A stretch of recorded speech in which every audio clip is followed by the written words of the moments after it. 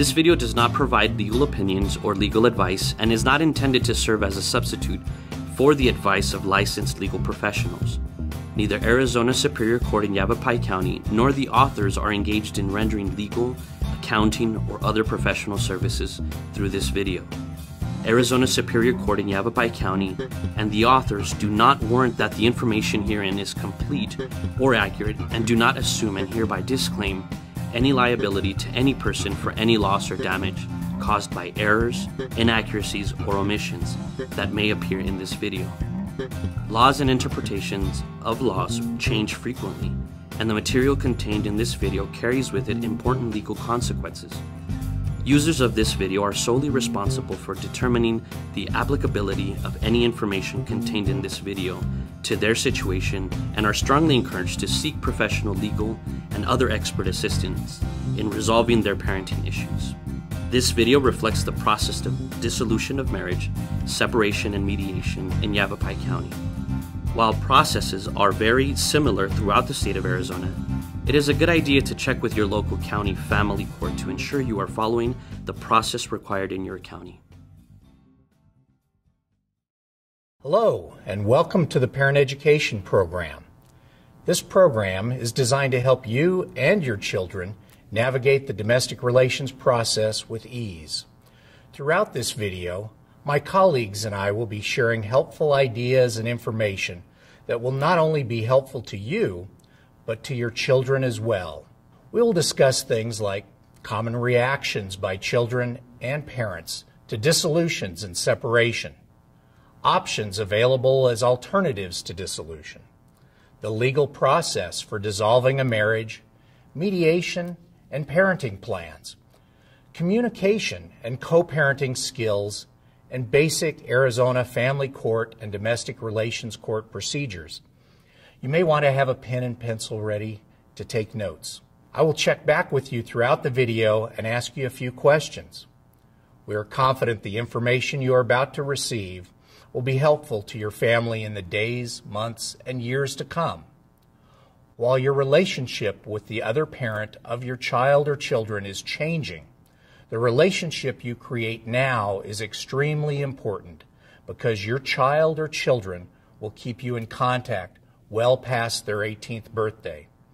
In fact, you will need to have a positive contact with the other parent for the rest of your lives. The information you receive today is designed to assist you begin that process. Thank you for your participation.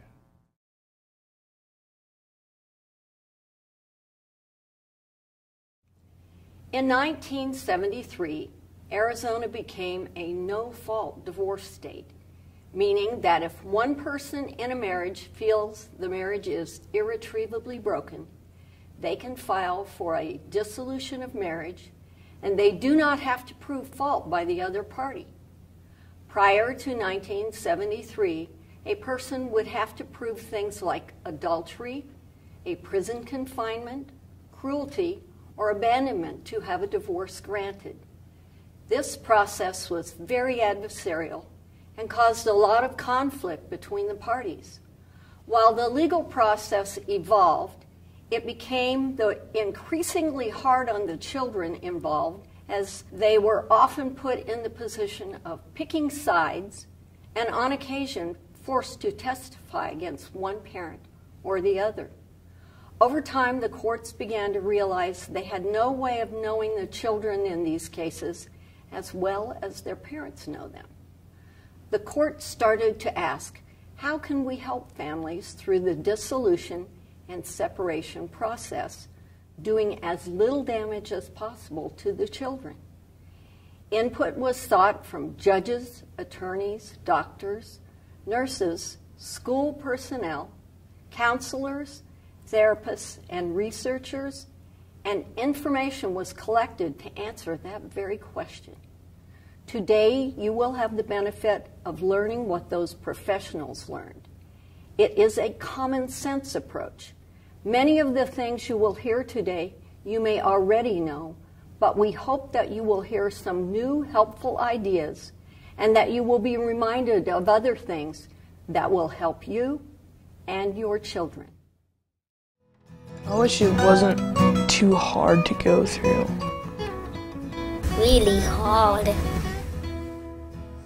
It's hard though to see him like this and to see all the things that he's done, but I still love him no matter what. I always will. It's really weird because you don't know when you're going to see them or stuff. Yeah, I mean, it, it's hard sometimes, but you know. It, yeah. Um, not good. It's like a complete mystery to me. Like half of my life is like disappeared. Like I don't know what happened. This can be a stressful time of life, and a dissolution of marriage can have a devastating effect on children, but it doesn't have to ruin their lives. Picture your child's high school graduation, their wedding, or the birth of your first grandchild. How do you want your children to feel on those very special days of their lives? Do you want them to feel love and respect for you and for themselves? Or do you want them to feel confused and bitter because that's what they have seen in their parents? The decision is in your hands. Though you and your spouse are divorcing each other, you are not divorcing your children. Your children need to know what, that they are loved and will not be abandoned. Here are some general guidelines for divorcing parents. We will elaborate more on each topic throughout this video, so here are some things that parents should do. Do tell your children about the divorce together, if possible. Do answer your children's questions honestly while avoiding unnecessary details. Do reassure your children they are not to blame for the divorce. Do tell your children they are loved and will be taken care of. Do include the other parent in school and other activities. Do encourage the relationship between your children and the other parent. Do be consistent and be on time to pick up and return your children. Do develop a workable parenting plan that gives your children access to both parents. Do try to avoid canceling plans with your children. Do establish two homes for your children with two fully involved parents. Do give your children permission to have a loving, satisfying relationship with the other parent. And here are some things parents should not do. Don't try to obtain information about the other parent from your children. Don't try to control the other parent. Don't use the children to carry messages back and forth. Don't argue in front of your children. Don't discuss child support issues with your children. Don't put your children in the position of having to take sides. Don't use your children to hurt the other parent.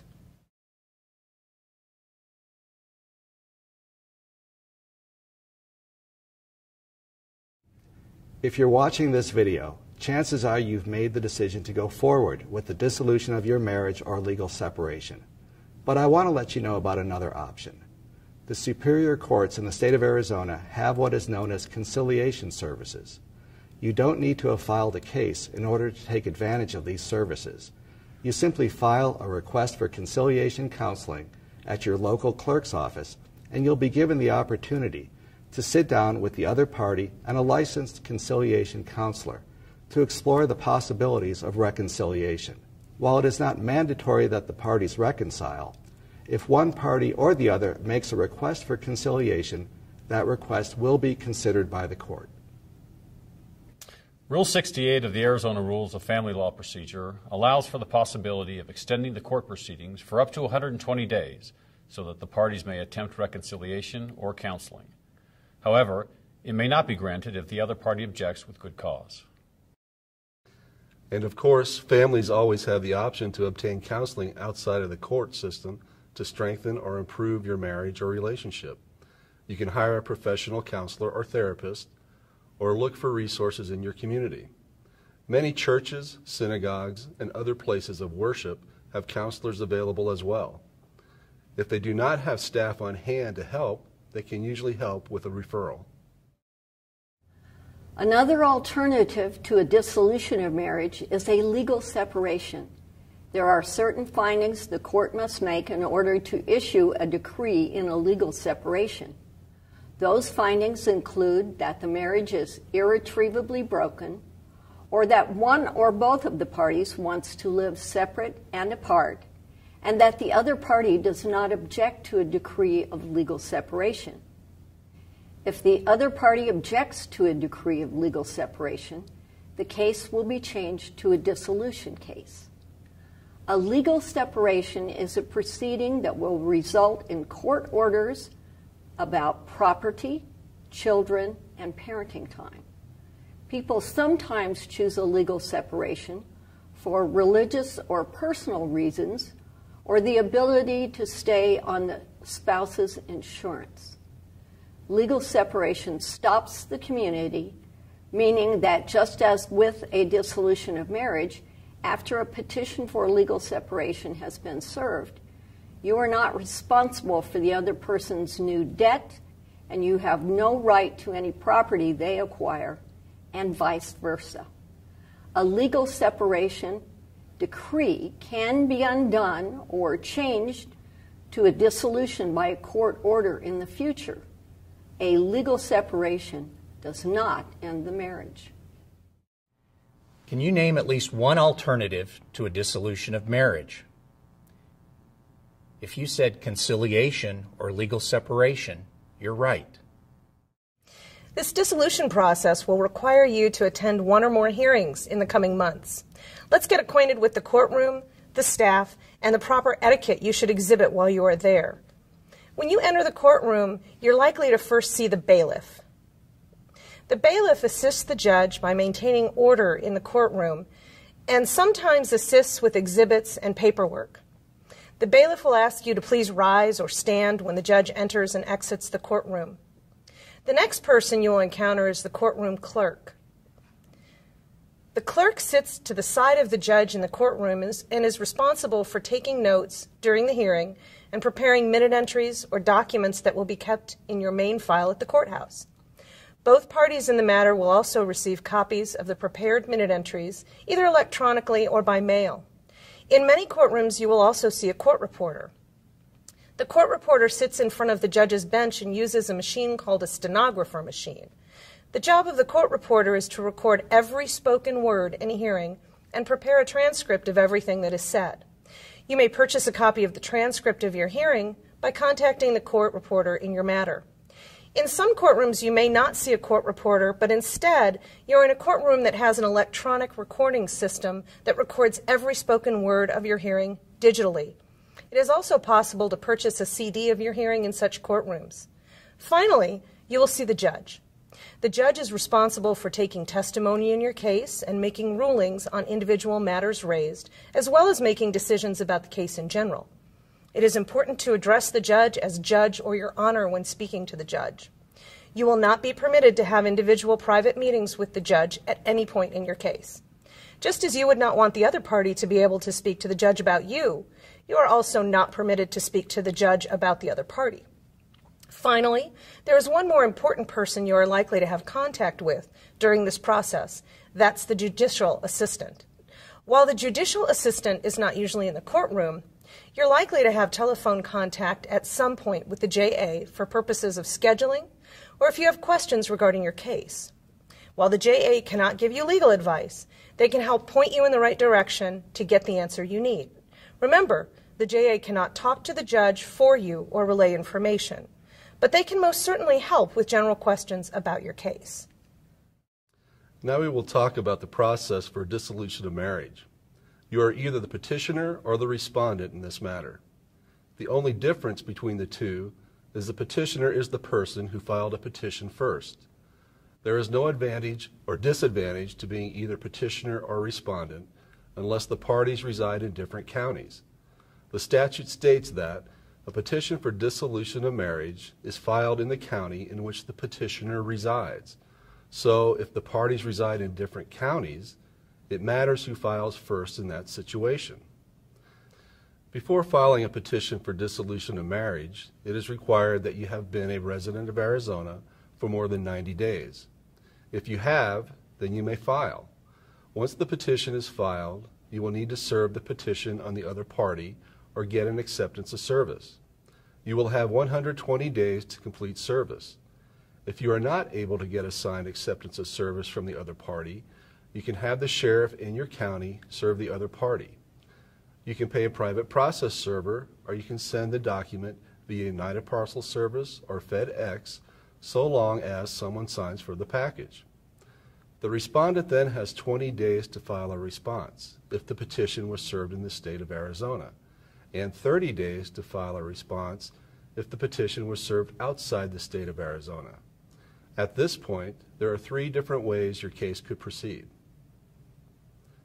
Number one, if both parties agree on all aspects of the dissolution, have a signed and notarized agreement, have attended parent education, and have filed a child support worksheet, it is possible for the case to move forward to a consent decree. This means that after a 60 day period, if all documents have been filed and the judge agrees, a consent decree can be signed and the matter is complete. Number two, if no response is filed within 20 to 30 days, the petitioner may then file for what is called a default.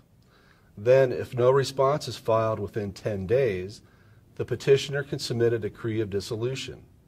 Once the documents are in order, the parent education class has been taken, and all fees have been addressed, either paid or deferred, the matter will be set for a default hearing. At the default hearing, the judge will enter a final decree of dissolution.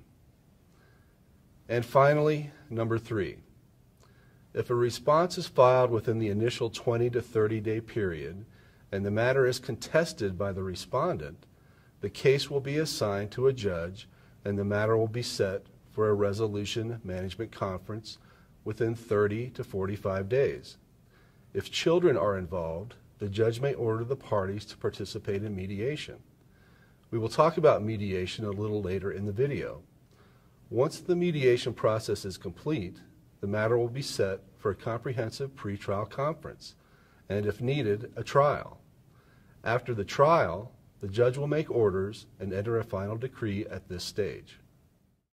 Name three ways your case may proceed through the court consent, default, or trial.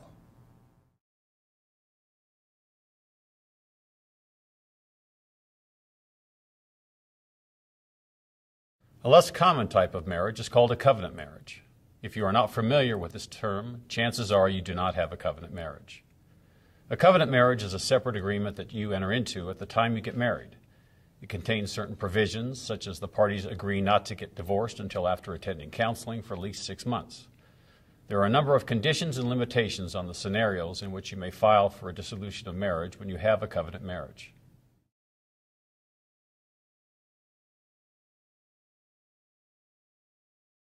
When a petition for dissolution is filed, one of the documents that is required is a preliminary injunction. A preliminary injunction lists specific things that neither party can do. For example, you may not hide earnings or community property from your spouse. You may not take out a loan on community property. You may not sell or give away community property.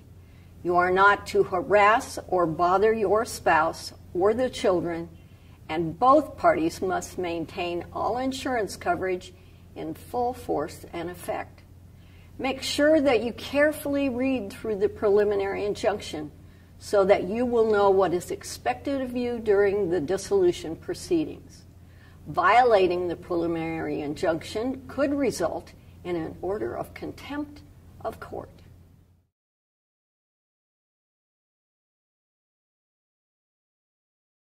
So, we have already mentioned that while in the courtroom, you should address the judge as judge or your honor. But let's talk about some other behaviors that can be helpful while in the courtroom. While everyone knows this can be a highly emotional time, it's important to keep your emotions in check while in the courtroom. You're likely to hear things with which you do not agree. You may hear something you believe is a lie. And while the inclination to roll your eyes or shake your head or speak out of turn might be great, be sure that you don't. You want to keep a poker face during your proceedings. If you have an attorney, trust your attorney to stand up for you. If you are representing yourself, remember not to argue. Do not argue with a witness, with the other party, and most of all, do not argue with the judge. And don't bring a fan club to your hearings. It's not a good idea to bring a ton of friends and family to your hearing as support. If you want to ask one close friend or one parent to come with you to help support you emotionally, that is okay. But make sure they understand that they also cannot roll their eyes, shake their head, or antagonize the other party in the matter. And if you are in a new relationship, it's not the best idea to bring the new partner to your dissolution proceedings. Imagine how you would feel if your ex brought their significant other to the hearing. If you have an attorney, make sure you meet with your attorney before the hearing so that you will know the plan ahead of time. While the hearing is taking place, you do not want to be talking in your attorney's ear the entire time, objecting to things that are said, or giving your attorney helpful hints on what to say next. If you have an item you want discussed, simply write it on a piece of paper and slide it over to your attorney. Be prepared for your day in court. Make sure you have your documentation in order and any notes you need as a reminder. On the day of your hearing, make sure you arrive at least 15 minutes early. It is a safe bet that it may take some time to find a parking space. Remember that you will have to go through security, and there can be a line there as well. You will want to make sure your cell phone is completely turned off before you enter the courtroom. Remember to speak respectfully to everyone with whom you come in contact and be ready to compromise and negotiate. Be professional throughout your hearing in front of the judge, and this includes professional attire. Do not wear t shirts, shorts, or anything that shows too much of your body when attending your hearing. Dress appropriately and do not wear anything that can be a distraction. Make sure you spit out your gum and that you are not wearing a hat or sunglasses on your head.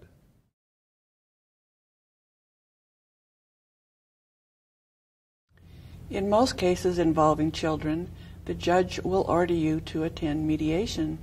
Mediation is a process in which you and the other party in the matter will be able to sit down and create a parenting plan for your children. There is no additional cost for mediation when you are creating a parenting plan.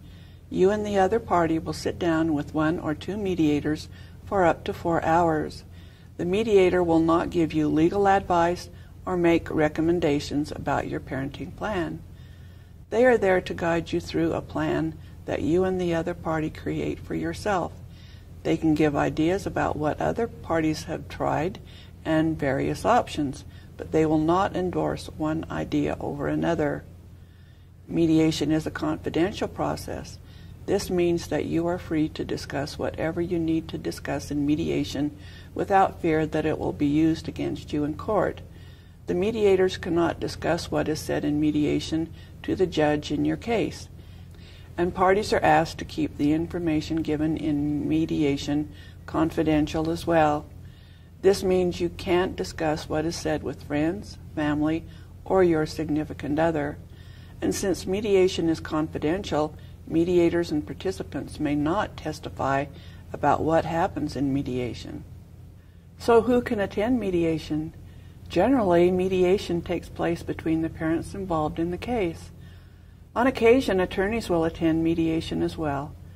Attorneys can be an asset in mediation as they can help answer questions for their clients throughout the process or during a break.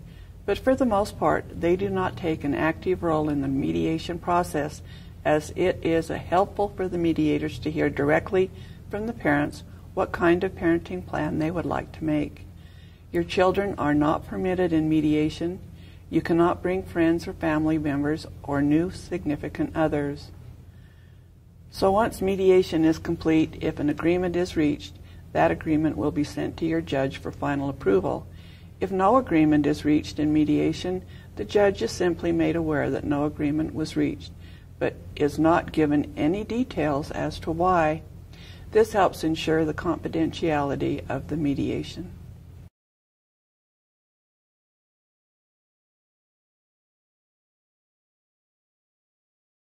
So, what exactly is a parenting plan? A parenting plan is a document that spells out which parent your child will be with at any given time.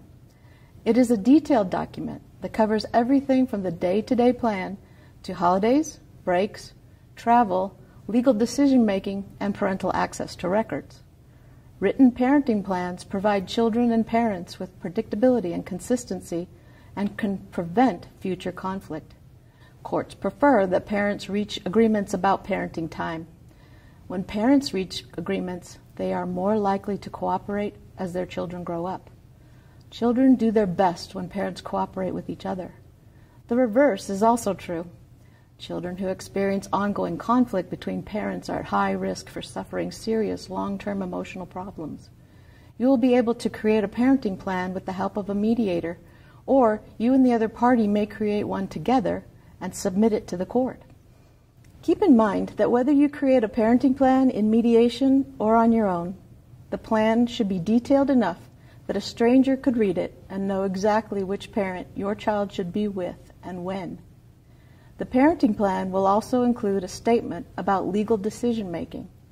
In Arizona, parents may have sole or joint legal decision making. Parents may agree that one parent will have sole legal decision making or that joint legal decision making is in their children's best interests. A parent who has sole legal decision making has the right to make major decisions about the children's health, education, and religious upbringing. Parents who have joint legal decision making make such decisions together, unless otherwise specified. Parents with joint legal decision making do not necessarily have equal parenting time. The key to successful co parenting is a written parenting plan that states the agreements parents reach about legal decision making, the sharing of rights and privileges, and the schedule for parenting time. In Arizona, joint decision making requires a written parenting plan that must be reviewed periodically and provides a way to resolve conflicts about legal decision making and parenting time. The parenting plan also must include a statement that joint legal decision making does not necessarily mean equal parenting time. There are many issues or questions you should consider before creating the parenting plan. For example, how old are our children? How mature are our children? What are our children's personalities like? Do the children or parents have any special needs? What are the children's relationships with siblings and friends? Are the parents' homes too far apart to maintain regular and frequent contact? How flexible are the parents' and the children's schedules? What child care arrangements are needed? How and where will exchanges take place? How will transportation be provided? How well can the parents communicate and cooperate? What are the children's and the parents' cultural and religious practices? The bulk of your parenting plan will determine scheduled parenting time. This means your day to day plan that includes weekdays, weeknights, and weekends. Parents are encouraged to make plans that are as detailed as possible to avoid confusion. Daily schedules should include the time and place of the exchange and the days or days of the week that the exchanges will occur. The schedule for holidays, vacations, and school breaks takes priority over the regularly scheduled parenting time. In deciding how to schedule these events, think about it from your child's point of view. Children enjoy having the opportunity to have special time with each parent and extended family members. Each parent may need to encourage his or her extended family to adjust some of their schedules so the child can participate in celebrations during parenting time. Also, think about the child's need to have contact with the other parent during extended vacation time. Scheduled phone calls during a vacation can help reduce anxiety for both the parent and the child without disrupting the vacation. Whenever the child will be traveling to a different place, the court expects parents to share information about where they will be staying, how they can be contacted, and when they will be returning. If the vacationing parent provides a written schedule that includes this information, the non vacationing parent will be assured of the ability to communicate in case of an emergency. In that same way, the non vacationing parent should provide contact information if he or she will not be at home during the child's vacation. In determining what to do about school breaks, consider the child's activities and the availability of one or both parents during the break. If the child needs daycare, the parents can consider a plan that minimizes daycare during the break. If both parents must work, the child may still enjoy a break from the regular schedule that allows him or her to spend more time with the parent than is usual.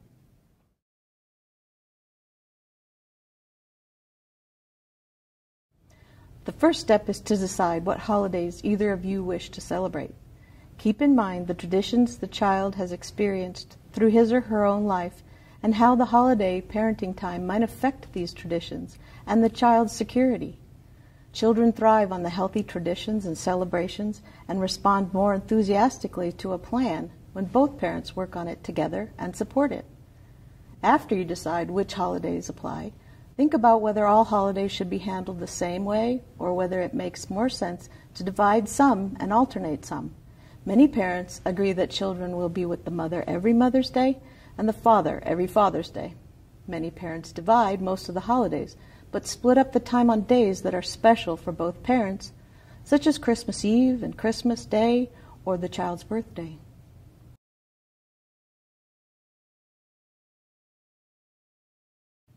Most parents agree to a set time for each parent to enjoy a vacation with the child. Whether you are traveling for vacation or just staying home, your child will enjoy spending any time you can take away from work with you. Whether a parent has the ability to take time off from work, vacation parenting time is intended to allow each parent the chance to either travel or stay home and spend an uninterrupted period of time with their child. A child may become anxious if away from a parent for much longer than usual. Scheduling a phone call midway through a week long vacation, for instance, may help the child handle the separation. Sometimes frequent calls from the away parent can cause the child to feel sadness and longing. If both parents are sensitive to the needs of their child, they can find a balance between no contact and too much contact. If a long vacation period is going to be spent at home or close to home, it might make sense to break it up with a short visit with the other parent. Parents need to make all of these decisions ahead of time to reduce conflict between them and to provide predictability for the child. Because transportation, weather, and other issues can cause problems during travel, it is important to provide the other parent with details about when and where travel will occur. Details include flight numbers and times, hotels, places where the child will be staying, and telephone numbers. If an emergency arises, a parent should be able to contact the other parent or the child. The parent traveling with the child should have passports, travel documentation, including a notarized consent to travel form if traveling outside the United States, updated medical information, insurance cards, prescriptions, and any other special supplies the child will need. Communication about when each parent will use vacation time needs to take place well in advance of the vacation. Because of school schedules, most parents plan vacations in the summer and will often set a deadline to communicate the dates of their vacations. For instance, if each parent has a two week period, they may decide that in even years, Parent A will have their first chance to choose the vacation dates and must communicate those dates in writing by April 1. Parent B will then choose the vacation dates out of the remaining dates and communicate those days in writing by April 15. In this example, parent B would have first choice in odd numbered years.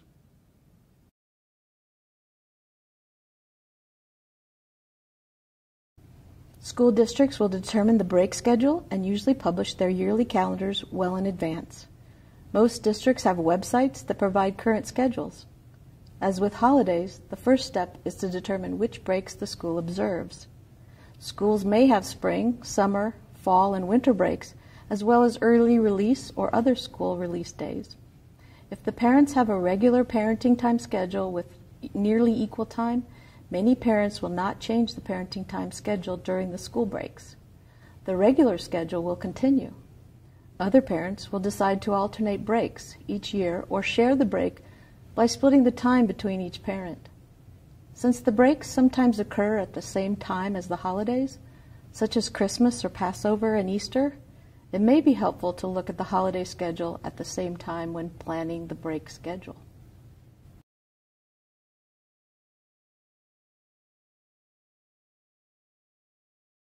Another great support system throughout this process can be extended family, both maternal and paternal sides of the family. Your children will benefit greatly from having strong relationships with all of their family members. Traditions can continue and even new traditions can be made. Connections with extended family can help children to know where they came from and know more about their family history. Try to have conversations with your extended family about being supportive to your children during this process. Remind them not to tear down the other parent, but instead be a positive, encouraging person in your child's life.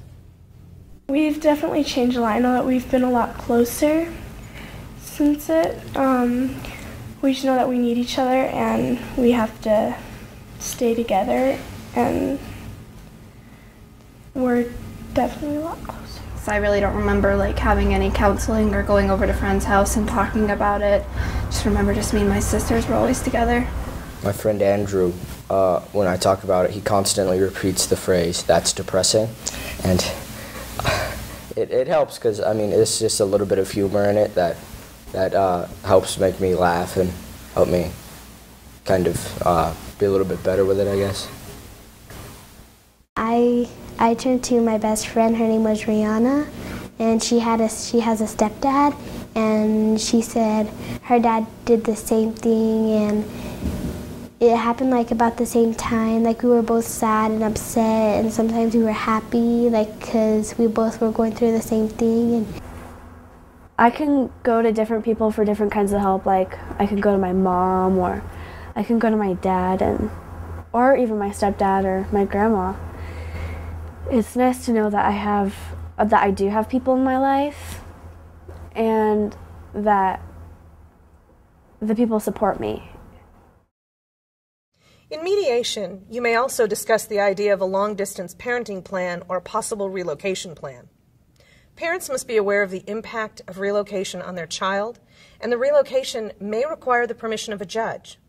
Long distance parenting rules can apply whenever the move between homes is more than 100 miles or there is travel between two states.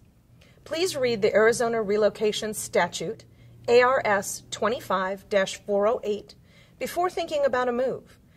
That statute permits a long distance move of a child only when the move is in the best interest of the child. The statute can be found in public libraries or on the internet by following the links at www.azleg.state.az.us. Parents often disagree about long distance parenting time. As a result, the judge is required to make a decision. Unfortunately, a decision by a judge may not please either party. Each relocation case is unique, and the right decision is based on the specific facts for each family. Parents should make a serious effort to resolve a parenting time dispute themselves or with the help of a mediator or an attorney. Any reasonable agreement between the parents negotiated in good faith is usually better than having a judge decide the matter after the expense and stress of a court hearing. A parent who wants to move a long distance with or without a child should think about many things before making a decision. Long distances often weaken the relationships between children and parents. If the move is necessary, parents might want to consider relocating both households to the same city. If that isn't possible, parenting time for the distant parent must be at regular and frequent times during the year. The court considers many factors, and parents should think about these factors. Each parent should take a moment and stand in the other parent and the child's shoes. What is their point of view? How would I feel if my child moved away to another city? Think about all the facts, including the age and maturity of the child, the child's developmental needs, sibling bonds, school and work schedules, transportation costs, the presence of, of supportive family and friends in each city, and the gains or loss of extended family. For most children, a long distance move may result in less regular contact with both parents.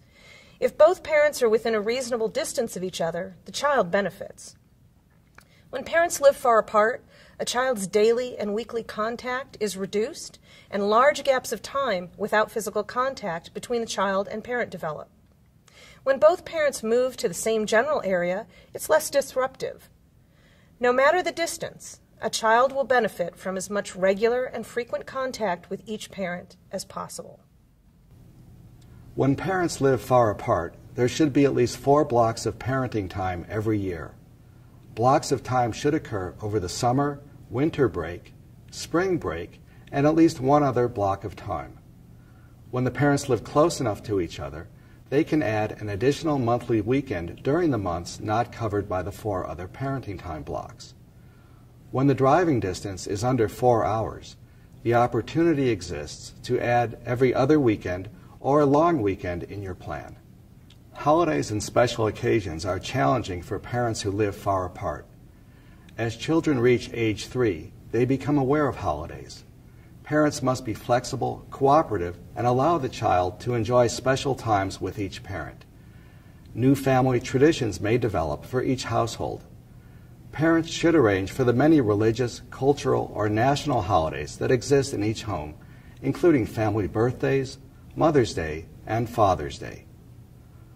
Long distance parenting is expensive. The cost of travel is covered in the child support guidelines. If the court hasn't said how the travel expenses will be divided, the parents should agree on how to share these costs before a move. In the case where a move is necessary, the cost may be divided in proportion to the parents' incomes. However, if the move is voluntary, the moving parent may find that they pay a greater percentage of all travel costs. A cost saving idea is to have the distant parent do most of the traveling and not the child. Even though you're separated, I think that both parents should try to be a part of your child's life so that they don't feel like you've completely abandoned them. One thing I really wish I could tell my dad is that to have him move closer to us so he doesn't have to drive. The hardest thing about it all is probably not being able to see my dad just because uh, he would always take me uh, climbing and backpacking and hiking and stuff and I really enjoyed hanging out with him and we can't really do that all that much anymore.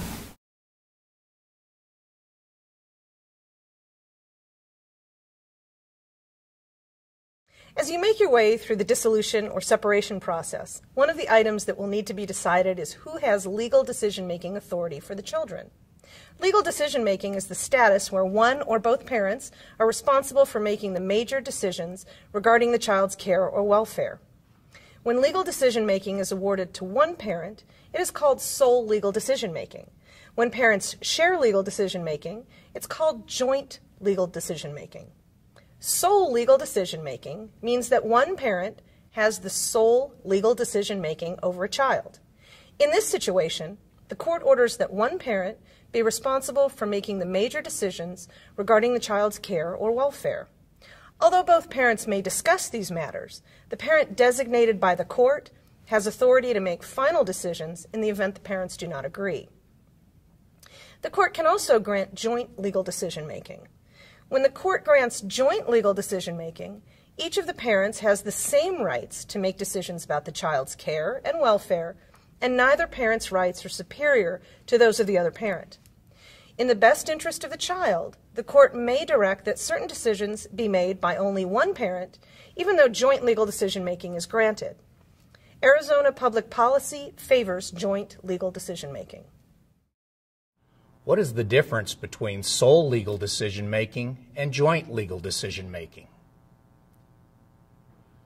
Sole legal decision making means one parent has the legal right and responsibility to make major decisions for the child. That parent may consult with the other parent before making a decision. Joint legal decision making means both parents share decision making and neither parent's rights or responsibilities are superior, except with respect to specified decisions as set forth by the court or the parents in the final judgment or order. Next, we will take a look at some of the factors your judge will consider when determining sole or joint legal decision making. And if there is a joint legal decision making, who will be the primary custodial parent?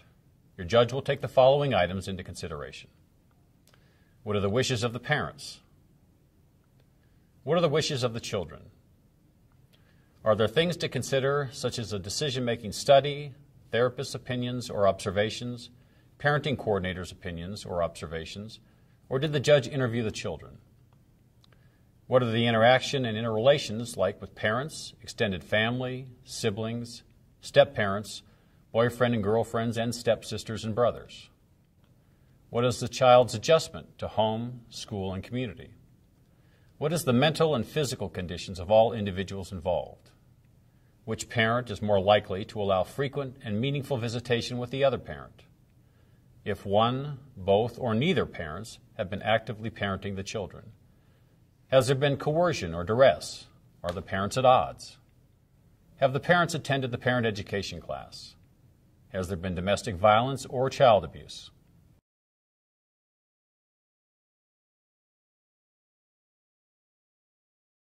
Under Arizona law, on reasonable request, both parents are entitled to have equal access to documents and other information concerning the children's education and physical, mental, moral, and emotional health. These records include medical, school, police, court, and other records. A person who does not comply with a reasonable request for these records shall reimburse the requesting parent for any court costs and attorney fees incurred by that parent to make the other parent obey this request. A parent who attempts to restrict the release of documents or information by the custodian of the records without a prior court order is subject to legal sanctions.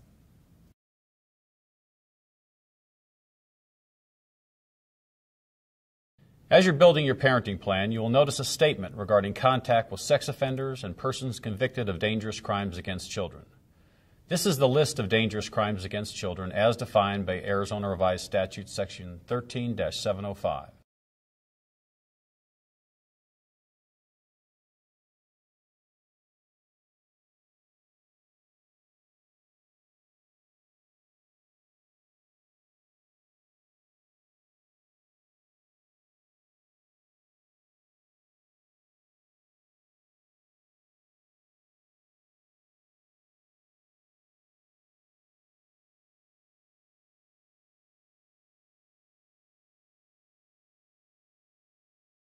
In Arizona, you are required by law to notify the other parent in writing if you know that a convicted or registered sex offender or a person who has been convicted of a dangerous crime against children may have access to your children. Arizona Revised Statute Section 25 403.05b reads as follows A child's parent or custodian must immediately notify the other parent or custodian if the parent or custodian knows that a convicted or registered sex offender or a person who has been convicted of a dangerous crime against children, as defined in Section 13 705, may have access to the child. The parent or custodian must provide notice by first class mail, return receipt requested, by electronic means to an electronic mail address that the recipient provided to the parent or custodian for notification purposes, or by other communication accepted by the court. This statement, included in the parenting plans in Arizona, your signature on your parenting plan will indicate to the judge that you have read this statement and that you have been made aware of the responsibilities to notify the other parent. True or false? You must immediately notify the other parent in writing if you know that a convicted or registered sex offender or person convicted of a dangerous crime against children may have access to your children. That is true. At some point in this process, you will be asked to provide the court with a child support worksheet. This worksheet will include information such as the children's names and dates of birth, parents' gross income amounts, medical, dental, and vision costs for the children, extra education expenses, parenting time days per year, and if spousal maintenance is paid or received by either parent, and whether court ordered child support is being paid for children of other relationships. These factors and others are taken into consideration when the judge calculates child support. For example, parents may each claim one child, or parents may alternate years taking both children. You can find the Arizona Child Support Calculator to help you with these calculations at the Arizona Supreme Court website at www.azcourts.gov. As you fill out your parenting plan, you will want to consider including some or all of the following ideas in your plan. These are general guidelines for effective parenting and can help to build trust and stronger relationships over time. Keep the other parent informed of any changes to your address and or phone number in advance. If you expect a change, let the other parent know in advance. You would be very unhappy if you tried to call the other parent only to find that their phone had been disconnected. It is a matter of courtesy and respect to keep each other informed of current contact information. Promptly inform the other parent of any emergency or other important event that involves your children. Talk with the other parent regarding any activity such as sports, music programs, or appointments that will affect the children's time with the other parent. Consider the other parent as a care provider for the children before making other arrangements. Keep all communications regarding the children between the parents. Do not use the children to pass information or set up parenting time changes. Make sure each parent has telephone contact with the children during the children's normal waking hours. Encourage love and respect between the children and the other parent. Do not say or do anything that may hurt the other parent's relationship with the children, such as talking about the other parent's problems, family members, or financial issues. Agree to make your best efforts to work cooperatively with the best interests of the children in mind and resolve any disagreements that may arise. If either parent moves out of town and returns later, you can agree to use the most recent parenting time agreement in place before the move. If due to unforeseen circumstances, either parent is unable to follow through with the parenting time arrangements, you should notify the other parent as soon as possible. If you are unable to reach an agreement with the other party regarding changes, disagreements, or claimed breaches to the parenting time agreement, you can agree to request mediation through conciliation court or a private mediator or counselor. While a disagreement is being resolved, do not deviate from the parenting time agreement already in place. It is a good idea to review your parenting plan with the other parent annually. As your children grow up, their needs and interests will change, and these things can have an effect on the logistics of the parenting plan. An annual review will provide for small adjustments to your plan so that a huge adjustment won't need to be made suddenly.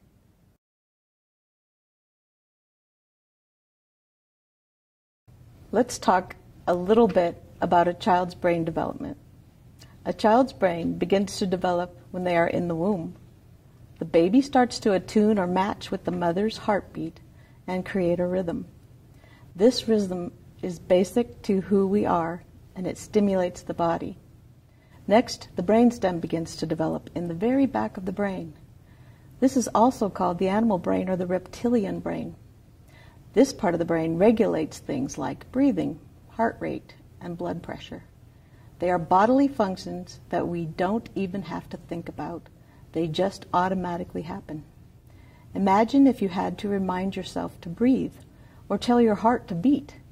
It turns out the brain is very efficient and controls so many things automatically. The next part of the brain that develops is the midbrain. Your brain has two hemispheres and contains billions and billions of neurons that are releasing chemicals and electrical impulses. You begin to develop basic skills such as ABCs and 1, 2, 3s. Research shows that the brain has the most cells for brain power it will ever have between the ages of 2 and 4 years old. After that time, the brain begins to start to be efficient and do a thing called pruning. So if you don't use those brain cells, you will lose them. While the brain is building, there are basically two primary emotions love and fear. As parents, it is important to understand this concept so that you can focus on building the love emotion in your children. If a child is in constant stress and instability, the fear side will begin to take root. If you are able to foster a safe, caring, and stable environment, your child will be more at ease and able to deal with life in general. Imagine taking a hike in the woods. The first time you take the hike, the path may be rocky and not very well laid down. But day after day, as you take the same hike, you begin to lay down a pathway that is familiar and smooth. The same is true for our brains. Exposure day after day to the same behavior will lay down a pathway in your brain. These either can be positive pathways or negative pathways.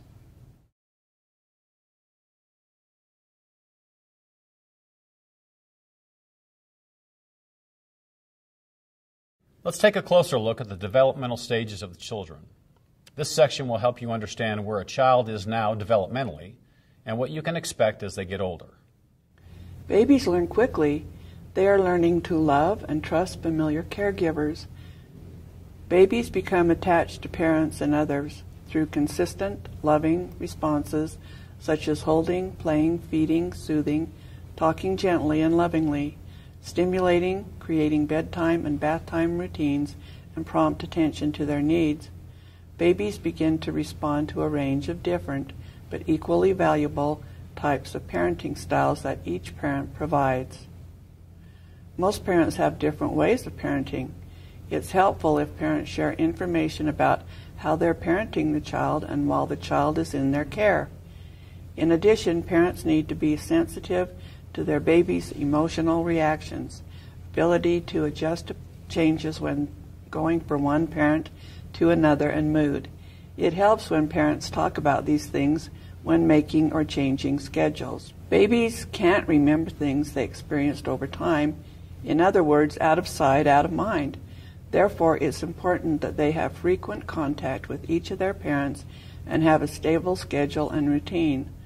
On the other hand, babies do have emotional memories of conflict that can have long term negative effects, so parents shouldn't argue when children, even babies, can hear the arguing. Many babies are sensitive to the tension between the parents at exchange time, so if you can't be pleasant to each other, you may need someone else to help you with the exchange times. At around six months, babies can recognize their parents and caregivers and may become uneasy around strangers. Regular caregivers understand how the child signals the need for food, comfort, and sleep. When away from parents or significant caregivers, babies may become anxious and have eating and sleeping problems. However, being away from one parent or caregiver and in the care of the other parent to whom the child is bonded shouldn't be a problem for most babies. Babies have basic sleep, feeding, and waking schedules. It's important to keep the baby on these schedules. Parents should work out their own plans so they don't interfere with the baby's normal routine. Also, in creating parenting plans for this age group, parents ought to think about the special needs of breastfeeding babies. Nursing mothers may want to express milk and send bottles with the baby so the father can feed the baby during his parenting time. One to two year olds are becoming more aware of the world around them and the people who have a lot of contact with them. A baby at this age can be attached to many caregivers, including grandparents, extended family members, and daycare providers. Babies are also becoming independent and developing the ability to comfort themselves by thumb sucking or holding on to favorite blankets or toys. Their sleeping and eating schedules are becoming regular. They continue to respond to the different types of nurturing provided by their parents. Two year olds commonly test parental limits, and consistent and loving parental responses can help the child build self esteem for years to come. Moving between the parents' homes may be difficult for some youngsters, and they may become upset at these times. For some children, resistance to exchange time is normal. This behavior doesn't necessarily mean that the other parent isn't a good parent or that the child doesn't want to be with the other parent. While parents need to be sensitive to whatever the child is experiencing, most children calm down shortly after the exchange. You can make exchanges easier for your child by following predictable schedules, avoiding conflict with the other parent in front of your child, and supporting your child's relationship with the other parent. Ages 2 to 3 are important times for children to develop independent skills. Although children at this age are learning to be independent, they may still cling to their caregiver and resist separation, even from one parent to the other. They may say no to parents' requests and demands just to express their independence. They may also be fearful about unfamiliar activities and objects. Predictability, regular scheduled routines help children manage their fears and help them learn that the world is a safe place. Moving between parents' homes may become difficult for some children at this age, and they may become upset. This behavior doesn't necessarily mean that the other parent isn't a good parent or that the child doesn't want to be with the other parent. Parents must continue to ensure that the transitions between the two parents' homes are free of parental arguing and tension. Three to five year olds are attached to their regular caregivers, and separation may make them uncomfortable and anxious. They may also be afraid of unfamiliar activities, people, and things, and may experience night fears like monsters under the bed. Three to five year olds may show increased emotional discomfort when moving between parents' homes. Some of these children may become very upset at these times. This behavior doesn't necessarily mean that the other parent isn't a good parent or that the child doesn't want to be with the other parent. Parents can make exchanges easier for children by following predictable schedules and making sure the child isn't exposed to conflict between the parents. Children are more likely to resist going with the other parent if the parents are tense or hostile or argue with each other at the exchange. If tension is present, the child might become difficult to manage or might act out. If parents can't be nice to each other, or at least civil, they should avoid talking to each other at exchanges. Parents should not use the child as a messenger to communicate with the other parent. Children may also feel more secure if they can take favorite stuffed toys, family photos, or other objects that will remind them of the other parent. After age three, children become more aware of holiday celebrations. Parents should schedule holidays, which may be religious, cultural, or national, that are meaningful to the child and the family. Parents should also include birthdays, Mother's Day, and Father's Day in the parenting plan. Three to five year olds may benefit from structured time with children their own age, away from parents. This time helps them develop social skills and learn that they can be safe and happy away from both parents. Six to nine year old children may worry that one parent doesn't love them or that they will lose one parent. They may miss the absent parent and feel sad, confused, and angry about their parent's divorce. They also may try to get their parents back together. Some six to nine year old children benefit from spending more time at one home, while others move back and forth on a regular basis with ease. Children differ in how long they are comfortable being away from each parent. Some may be comfortable being away from the parent with whom the child lives most of the time on a regular basis for two or more days. If the child has spent considerable quality time with the parent who has parenting time, the child may cope better with a long separation from the other parent. As a child matures, longer periods of parenting time with fewer exchanges between parents may be preferred. In making a parenting time schedule, parents should keep their work schedules in mind and try to use their time off from work to spend as much time as possible with the child. If a parent's work schedule changes from week to week, the parenting plan may let that parent spend time with the child on the parent's days off from work after giving plenty of advance notice to the other parent. 10 to 12 year old children often want to be independent from their parents and are becoming more attached to their friends. They may blame one parent for the divorce, may be angry and be embarrassed by the breakup of the family, and may side with one parent. Children of this age often want to have a say in where they live. Parents should let them express their views while making it clear it is up to the parents to make the final decisions. As children begin junior high or middle school, parents should make sure the parenting plan considers the child's school and extracurricular activities.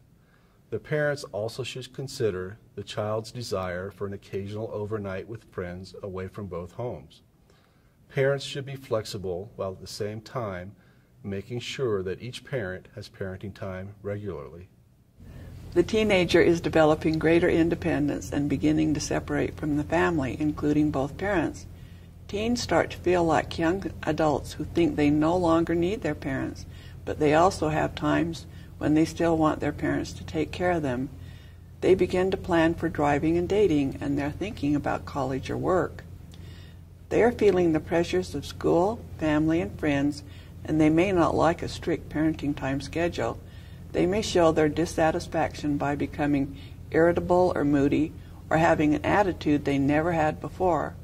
Many lack the skills to express the many strong but conflicting emotions that go along with growing up.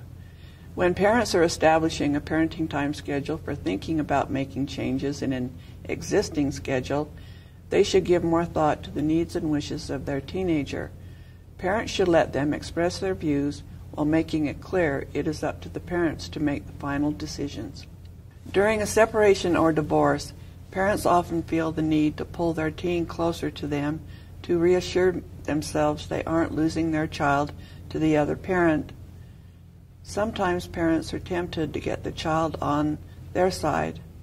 A teen may avoid both parents or reject one parent and cling to the other especially if the parents are putting them in the middle of their conflict. Some teens want little or nothing to do with either parent and turn to friends or others to talk to who aren't part of the conflict. Teens are often confused and angry at the way their parents are acting and may feel their parents haven't been concerned about how the divorce is affecting them. The strong conflicting emotions they experience may cause them to act in new and unfamiliar ways as they struggle to deal with these changes in their lives. Therefore, parents shouldn't assume that their child's mood swings or acting out are caused by the other parent. Children between the ages 13 and 15 continue to use the family as a base of support and guidance. This is a time when the child is striving for independence, but is still tied to the parents. Teens, for many different reasons, begin to assert more independence at different ages. Decision making abilities vary widely among teens in this age group, as well as from one situation to another. Teens often have outside interests that compete with the scheduled parenting plan. They frequently prefer to spend more time with their friends than their parents and may become resentful or angry if they can't do what they want to do. Teens may try to reach a deal with one or both parents to get what they want, which may affect either parent's parenting time. It's important for parents to talk with each other to decide when their parenting time should be more flexible. It's important for parents of teenagers of this age to help maintain the child's access to school, friends, extracurricular, and community activities from both homes. Teens feel they should have more independence and may resist a rigid parenting time schedule. Parents must add greater flexibility to the parenting plan by thinking about the child's wishes and deciding parenting time issues with the child. That way, teenagers won't feel forced to comply with a parenting schedule in which they had no say. Instead, they will feel like they are doing something they want to do. Your teen may benefit from a primary home base with specific evenings, weekends, and activities at the other home scheduled on a regular and predictable basis. More than anything, your teenager will usually want to say in the parenting plan, but the teen doesn't get to make the decisions. Regardless of your teen's needs, the parenting plan should include the following considerations your work and theirs, extracurricular activities, their social life, increased schoolwork, friendships, sports activities. Many teens prefer one primary home close to their friends and weekends or evenings with the other parent. Some will prefer a 50 50 plan with their parents. Much of this will depend on the history of the relationship with each parent, the distance between the parents' homes, and the parents' availability to meet their child's needs. True or false? Children will react the same way to separation and divorce no matter what age they are. That is false. Now more than ever, your children are going to need your care, comfort, and consideration. You want to try to keep things as simple as possible right now so that they are not exposed to undue stress. They are going to experience a range of emotions, and one of those most prevalent emotions is fear. We all have a fight or flight response in our brain. We have this system so that if we are in immediate danger, we can immediately respond, almost without thinking, to get ourselves to safety. This life saving response is an amazing switch that is turned on to keep us safe. However, problems can occur if this switch doesn't get turned off. If we are in a constant state of fear or arousal, it can eventually take a toll on our health. And this is especially true for children who are exposed to trauma and conflict.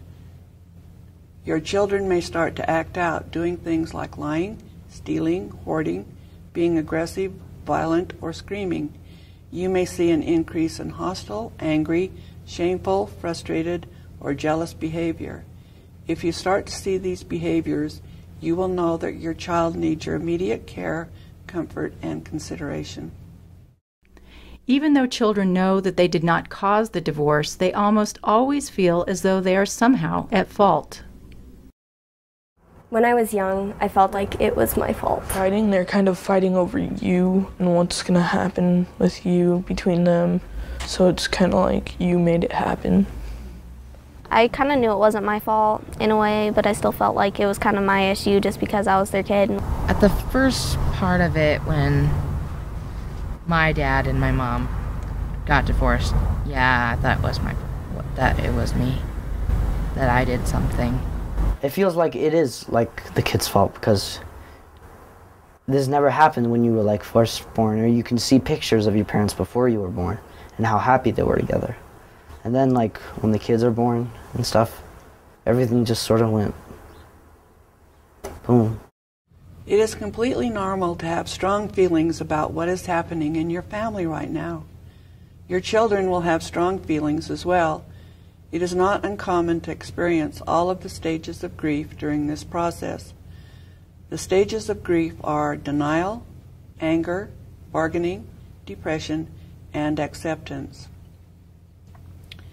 Grief is a very individual process, and all individuals will go through it at their own pace. Give yourself the space to recognize you are going through these stages. It will be important for you to be aware that your children are going through these stages as well. Another thing to remember about grief is that we experience grief in a cycle. You will find that you go through all of these stages more than once before truly arriving at a long term acceptance. The average length of this process in divorce is two years for adults and three years for children. When your family breaks up, it's almost like you've lost that other person that you're not living with anymore. It's like a death. Two people splitting up and somebody gone, like they're leaving. And she hasn't even called us in like in 30, uh, 30 years, I think. I don't know. Like when your mom and dad get divorced, you don't really, really get to see your mom or your dad that much. He usually just comes over, gives us our child support money, and then says, okay, bye, love you, and then goes with his girlfriend to the house.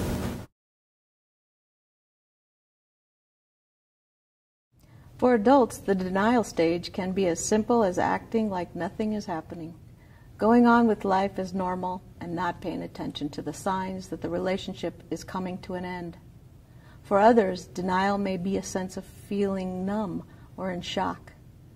Others will be eternally optimistic that the problems can be worked out.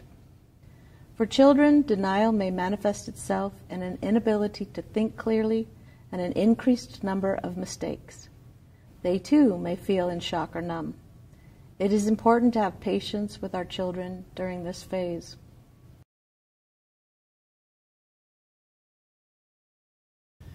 During the anger phase, adults usually look for someone to blame for the breakup. It is usually the other parent, their significant other, or in laws. But anger can build towards friends and family and even the children. It is important to seek professional help if you feel that your anger is misguided and unmanageable. Children will also experience anger during this process, and it is possible the anger will be directed at you. They will most likely blame one parent or both for the breakup. Their behavior can manifest in acting out toward other people or friends, and they may struggle with behavior problems in school. During the bargaining stage, adults will start to look for ways to repair the relationship. They would rather do just about anything than go through the pain of the separation. Some people will begin to bargain with money or changes to child rearing or promises to change behaviors. Many last ditch efforts are made to get the old life back. For children, they will bargain with things like promises to behave and promises to keep their rooms clean if only their parents will reconcile. They will promise anything to help repair their parents' relationship. Adults may show depression in a number of different ways. Many will find it hard to sleep, have a loss of appetite, or overeat. Others will resort to drugs and alcohol use. Many will become short tempered and easily agitated. Children will exhibit some of the same behaviors during the depression phase. You may notice a change in sleep patterns, eating patterns, or they may become withdrawn. It is important to seek professional help if these behaviors continue or become worse? I don't think my parents are aware of my needs because I don't think they've ever been put in the same situation or I've ever um, observed or had a family member that's been in the same situation. Their parents were always together, and that's one thing that is really hard because your parents don't know what it's like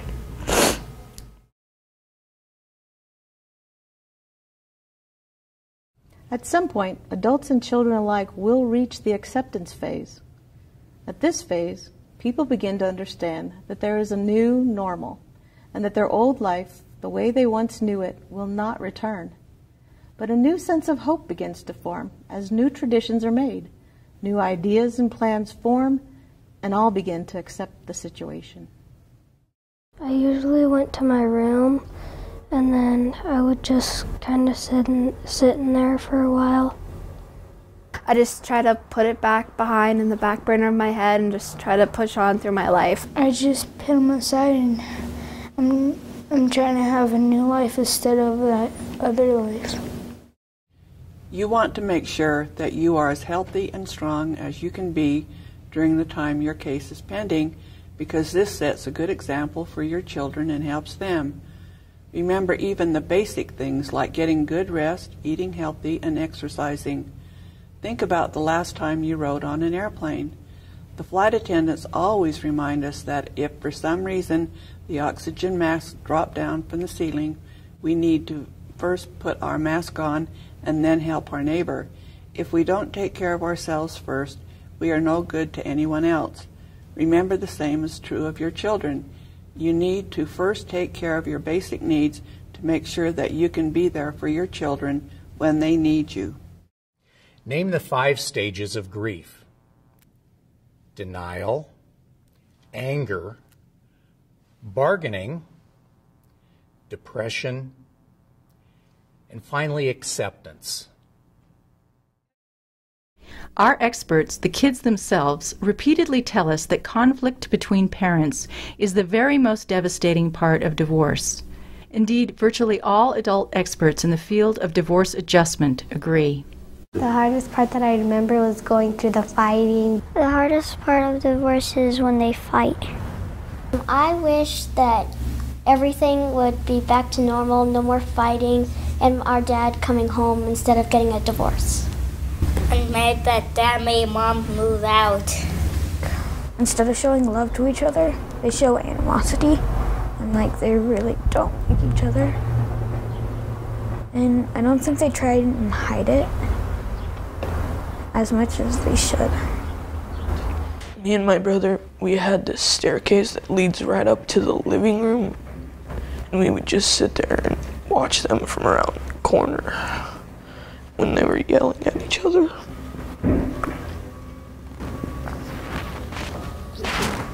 When my mom and my stepdad used to fight, I would take my sister into my room or I would I would never try to get in between it and say, "Can you please leave?" But I would take her and we would go in my room and we would talk and try to ignore them as much as possible. But when my birth mom and my birth dad would fight, I just I didn't have somebody to lean on and talk to. The hardest thing for me was the part when she left my dad. It didn't feel good at all. And I asked her where we were going, and she didn't tell me. My parents just kept fighting, and my brother and my mom's relationship kind of grew apart. So that was tough for me and him. If I could ask my dad anything, it would be, why'd you leave? You know, sometimes they're talking on the phone and they get into a fight and they just end up so angry and they hang up. And, you know, sometimes they take the anger out on the people around them. And it's, it's hard. It's hard on my little sister.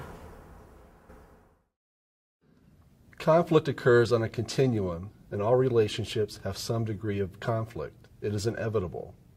Children, however, are negatively impacted by seeing, hearing, or otherwise experiencing parental conflict. Children who experience long term domestic violence are the most severely impacted. Whether verbal or physical, domestic violence can have a devastating effect on children.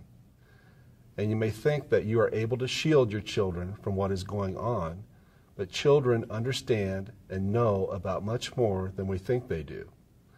They have eyes and ears that are keenly aware of the situation, and even if they are not present when the actual violence takes place, they will see the aftermath of it. Remember that your children are learning from you how to conduct a relationship. There may be times when you need to get law enforcement involved in your dissolution or separation situation. For example, if you are in an unsafe situation, you are a victim of domestic violence, or if your children have not been returned after an excessive amount of time, it is very important to know when it is appropriate to call the police. Please do not call the police because the other parent forgot to bring your child's pajamas back. Do not call the police if the other parent is 10 minutes late picking up or dropping off the children. Do not call the police with every grievance you have against the other party. If you are having trouble with the other parent following the parenting plan, keep track of what is going on and let the court know what is happening by filing a petition or a motion. Another very harmful behavior is called parental alienation. This happens when a parent tries to basically pull the children to their side by speaking ill of the other parent, keeping them away from the other parent and not allowing parenting time, or putting ideas into the children's minds that create doubt or anger against the other parent. And unfortunately, quite often this behavior extends beyond the parent causing the alienation to that parent's extended family and friends. It can become a mob mentality, and your children have no escape. Every family member or friend they spend time with is tearing down the other parent. And while the children may not say anything, it can hurt them very deeply. Remember, your children are half your ex spouse, and when you or other people make disparaging remarks about the other parent, your child believes those same things about themselves since they are part of the other parent. You have full control to make sure this type of behavior does not exist and that your child is not exposed to it. And if you become aware that family or friends are causing parental alienation, you need to have a discussion immediately with them to make sure that it stops. It was it kind of became a battle between you know mom bashing on dad and dad bashing on mom and us kids in the middle of it and um I mean it still goes on to this day so it was always a lot of pressure. Once when dad was about to beat me at chess, I just I cried. I don't know how where should I move it's hard if you want to balance your time out with your parents and equally and stuff. That's kind of hard to do. Or if you want to spend more time with a little bit more time with one parent than the other, that's pretty tough because you don't want to hurt the other parent's feelings and all of that not so great stuff. I don't want them fighting at each other because I love them both. They shouldn't like talk about each other behind each other's backs because sometimes they do that just like you're acting just like your mother or you're you're acting just like your father and it's it's sort of like making us take sides if you believe you are in an abusive relationship now may be the time to think about ways to make yourself safer. You need to think ahead of ways to keep yourself and your children safe. Here are just a few tips. Leave or stay away from the kitchen or any other room with weapons. Stay out of rooms that do not have exits, like bathrooms or closets. If possible, get to a room with an exit and or a phone. Develop a code word or signal for friends, children, and neighbors to call the police. Call 911 or the local emergency number.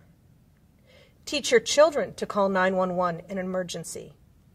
Use your instincts. It is a good idea to have a support system you can rely on during this time. Think of friends, family, churches, or organizations you can go to in a time of crisis. If you do not have a support system, check with your local court to obtain phone numbers for shelters and support in your area. Suicide can be a thought that can go through a lot of people's minds in a time like this. The fear and anxiety can become overwhelming. Check with your local court for hotline numbers and ways you can get help if you are feeling this way. Also, lean into your support system as much as possible. Know that there are scores of people and agencies available to help. Do not give up.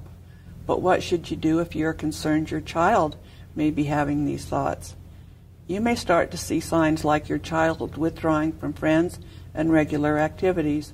You may see increased signs of depression or notice that your child is giving away their possessions.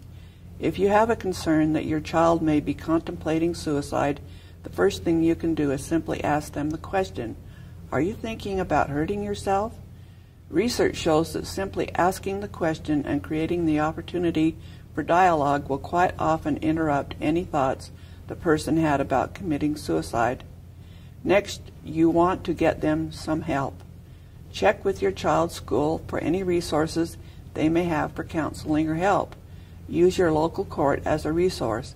The law library should have a list of resources and or local counselors a hotline in your area or take your child to their physician.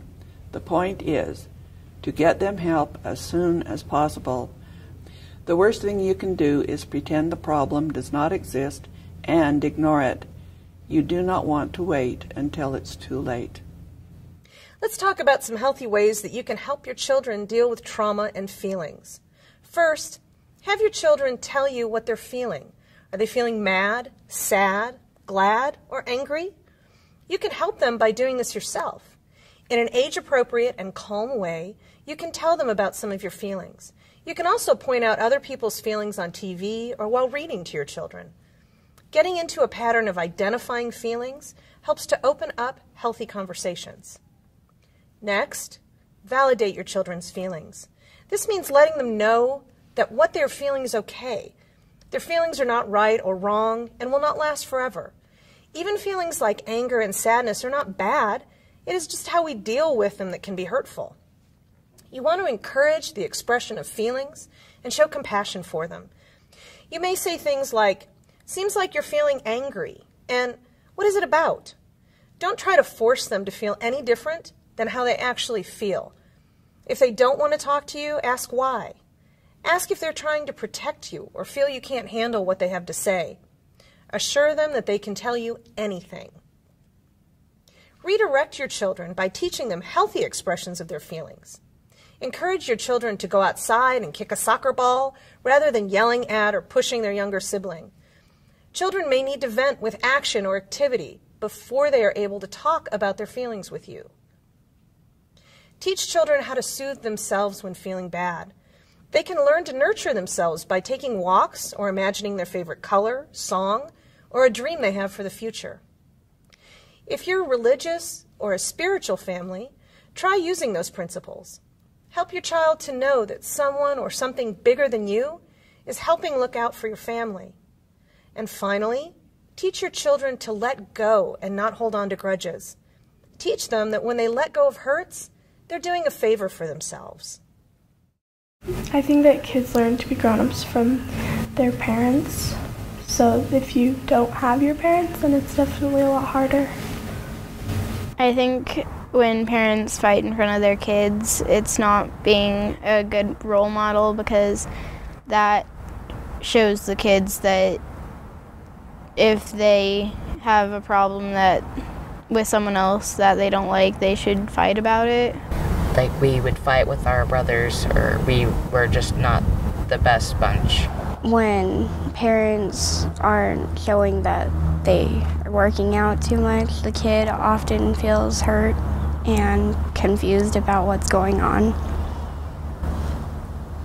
When my mom did better, I did better. Just as there are healthy ways of helping your children deal with trauma, there are also some very destructive ways of dealing with your children's trauma and feelings.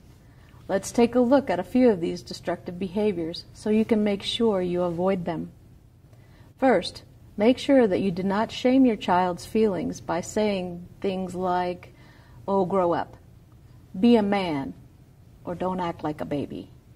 Remember that your children are going through a range of emotions, and these emotions will come and go in waves. Do not ignore your children's feelings. Pretending that nothing is going on could lead to worse or more destructive behavior. Do not criticize your children's feelings. Telling them you shouldn't feel that way or that's not the right feeling to have is not helpful. The fact of the matter is, that is how they are feeling right now, and it is up to you to help them through those feelings. Do not teach your children to stuff their feelings and move on. Over time, this can have a devastating effect on their emotional and physical well being. Expressing feelings is always the healthiest option. Do not be a bully, act grandiose, or play super cool. These behaviors can be intimidating to children and make them feel inferior. Do not create a crisis to get attention.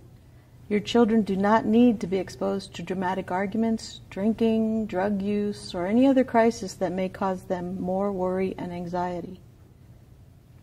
Not being emotionally available for your children is a destructive behavior as well. Having an attitude that feeding and clothing your children should be enough does nothing for their emotional well being.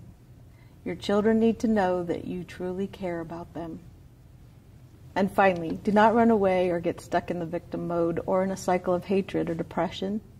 As hard as it may be for you, your children need you to be strong and not give up.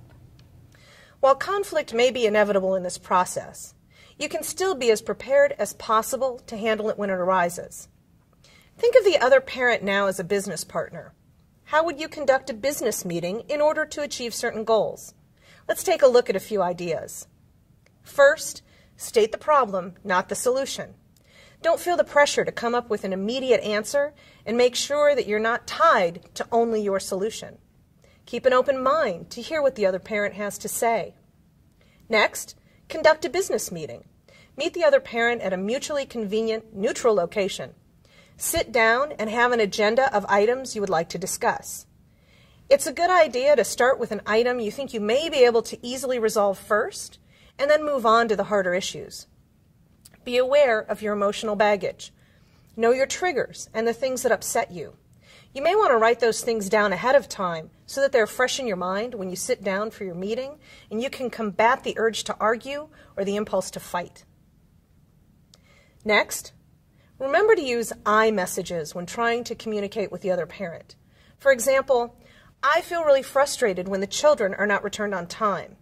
Rather than accusing and blaming the other parent by saying, You never bring the kids back on time, if you can frame your statements in a way that reflects your feelings and takes out the blame, the other parent might be more likely to hear and understand what you're saying. Think about writing down your grievances as I messages before your meeting so that you don't have to come up with them on the spot. And finally, use paraphrasing when speaking with the other parent. This means that you repeat back to them what you hear them say.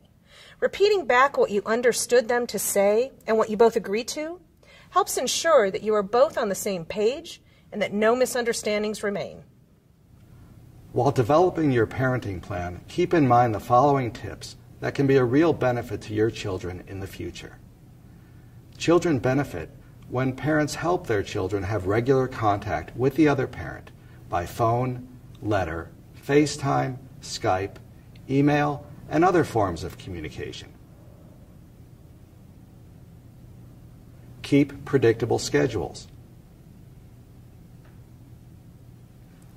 Be on time and have the children ready when it's time to go with the other parent. Exchange the children without any arguing. Support your children's relationship with the other parent. Let your children carry important items such as favorite clothes, toys, and security blankets with them between the parents' homes. Follow similar routines for meals, homework, and bedtime. Handle rules and discipline in similar ways.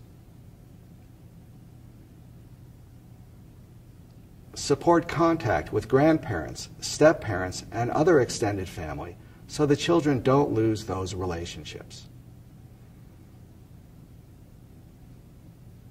Be flexible so the children can take part in special family celebrations and events. Give as much advance notice as possible to the other parent about special occasions or necessary changes to the schedule. Provide the other parent with travel dates, destinations, and places where the children and you can be reached while on vacation. Establish workable and respectful communication with the other parent. Plan your vacations around the children's scheduled activities. Remember that children can be harmed when parents make their children choose between them question their children about the other parent's activities or relationships, make promises that they don't keep, drop in and out of the children's lives, are inconsistent in using their parenting time, argue with or put down the other parent in front of the children or where the children can overhear discuss their personal problems with the children or where the children can overhear. Use the children as messengers, spies, or mediators. Stop or interfere with parenting time because child support has not been paid. Do not show respect for each other. Undermine the children's relationship with the other parent. Let's talk for a bit about personal responsibility and personal empowerment. We have already determined this can be a tough time, and it is so important to remember that no two families are alike. Each situation will present unique challenges and opportunities. So, have you had time to think about what you want to handle the situation?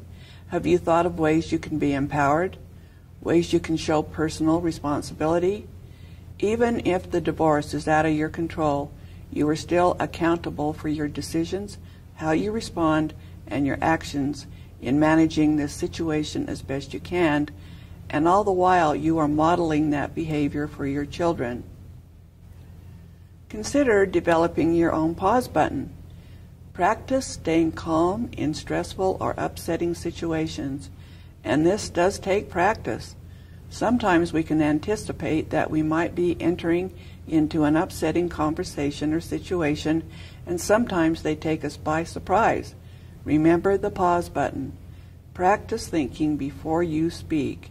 Another good idea is to wait 24 hours before making a decision or responding to something that has angered you. Remember to hit pause before you react. Ask yourself the question What am I trying to accomplish here? While you may not have control of the entire situation, you are completely in control of how you respond to it. And that helps you build personal empowerment. By having the power over your own emotions, you are better able to navigate the rough waters that may lie ahead. If you find that you're having a hard time communicating with your co parent, consider having a business meeting to discuss ideas or changes you would like to make. Prepare for the meeting just as you would a business meeting. You would want to give advance notice of the place and time for the meeting. Next, you would schedule the meeting at a neutral location that works for both parties and is safe. A place like the mall or a restaurant would be a good place. Next, have an agenda ready with topics you would like to discuss and make certain you stick to these topics. And, as you would in a business meeting, keep your emotions in check and remain calm as you navigate through the items on your agenda. A student a long time ago gave me a great tip that she uses when discussing the children with her ex husband. She said she makes a conscious effort to refer to the children as our children in every conversation. By not referring to my daughter or my son, and instead talking about our children, it took some of the animosity away from the situation. Dad didn't feel on the defense that he had to fight for his children, but instead came into every conversation knowing that both parents were working in the best interest of their children. Another way of looking at conflict and solutions is to come up with a problem solving paradigm. This can happen when parents sit down together and first state what the problem is. Next, you can list all the possible solutions to that problem. Some will be your solution, some will be the other parents. This is a chance to brainstorm and just write everything down, no matter how silly. Then together you come up with the best solution or two. Then you pick the one that you both believe will work best and just let the others go.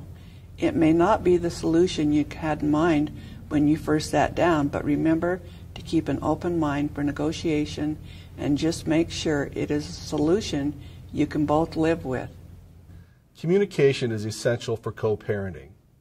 For many years to come, and on an ongoing basis, you will need to exchange information about your children with the other parent. To avoid problems, parents should provide parenting information to one another. Practice the ACT method, and that information should be accurate, complete, and timely. Even if the court has restricted your contact with the other parent, you will still need to regularly exchange information about your children. You will need to exchange it in such a way that is consistent with the court's orders. Parents may not always agree about which parent has the right to certain information. If you are in doubt, follow the golden rule. Always provide the other parent information that you expect that parent to give to you. Here's an example of two people who want to be good parents but are not good at communicating with each other. They do not follow either one of the best practices of co parenting communication. Mother and father have one child, Maria, who just turned five. They have joint legal decision making with week on, week off equal parenting time. They do not practice good co parenting communication. Maria will start kindergarten in August and the school requires her to be immunized before she starts. During Father's assigned week in late July, he takes Maria to his selected pediatrician, Dr. Smith, for her immunizations. He does not tell Mother what he has done. Then he sends the immunization records to Maria's new school. During Mother's Next Assigned week, she takes Maria to her selected pediatrician, Dr. Jones, where Maria gets the same immunizations a second time. Mother does not inform father and sends the immunization records to Maria's school. When school starts, the nurse sees both records and realizes that Maria received the immunizations twice. Neither parent intended to harm their child, they each wanted to follow the school rules. However, getting the child immunized twice, especially so close together, was clearly not in her best interest. Even though neither parent intended to harm Maria, they both put her at risk by failing to inform one another about Maria's immunizations. Parents want to do what's best for their children. They do not intend to do something that may harm or hurt them. But if they do not exchange information, their children may be harmed. Sharing information is always the best practice. The previous example showed what may happen when there is no communication between parents. If parents use poor communication skills or communicate in a hurtful or angry way, it can also be bad for the children. Use the following list of tips to guide and improve your co parenting communication. Keep your focus. Be brief, to the point, and stay focused on your child. Stay focused on the present or future events. Don't bring up past problems or situations. Be positive and use a business-like tone. Remember the reason for your communication. You are passing on information to the other parent. Keep your cool. Don't jump to conclusions or overreact. Don't write in all capital letters to make a point. This can give the impression that you are angry. Don't criticize, blame, or accuse the other parent. If some of your sentences begin with you always or you never, you have slipped back into blaming or an angry tone about the other parent. You need to switch your focus back to your child. Don't make rude, mean, or sarcastic comments about the other parent. Don't make demands. Don't use profanity. Keep it courteous and cooperative. Do provide the other parent with reasonable deadlines and due dates. Do use courteous and respectful words such as please and thank you. Be cooperative. Write the communication as if someone such as a judge or other decision maker will read it. Cooperating with your co parent says your child is your first priority. My dad shows me he cares about me by calling me every night, and if he can't get a hold of me because I'm busy, he texts me and leaves me a message. My mom set up an email thing for me, and so I can write letters to them and stuff. For the kids' sake, help them get through it. Ask if they have any questions. Tell them it wasn't their fault. I know my mom would do anything for me when it comes down to it. She uh, she tries her hardest. I know we're all stressed and everything, but she tries her hardest just to talk to me and to come home and make dinner. Or, I know we butt heads a lot, but she loves me. The things that my parents have done to help me adjust to the divorce is they first bought me a bunch of books and they read them to me like it's not my fault and stuff. Parents could help more by uh, talking to us and telling us more that's going on and having alone time without like your sisters or your brothers and just helping us and if we need to cry help us cry and